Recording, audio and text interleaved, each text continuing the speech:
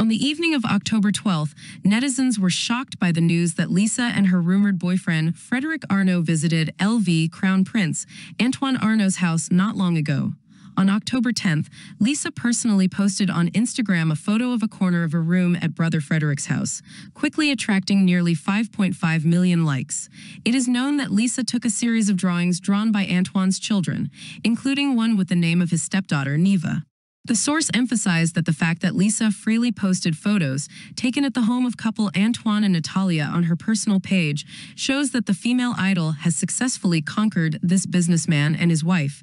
Antoine holds an important position in the world's second richest billionaire family, often called the crown prince of the luxury empire, because he is the eldest son of LVMH boss Bernard Arnault. Not long ago, billionaire couple Bernard Arnault and Frédéric came to support Lisa's performance at the Crazy Horse strip club. The rumored boyfriend's mother even gave the youngest Blackpink a smile full of love while watching the show. And yet, on October 2nd, powerful billionaire Bernard Arnault responded with a radiant expression when he heard fans shouting the name Lisa and calling Frédéric Lisa's boyfriend outside the fashion show. Frédéric Arnault's family members supported the couple's relationship.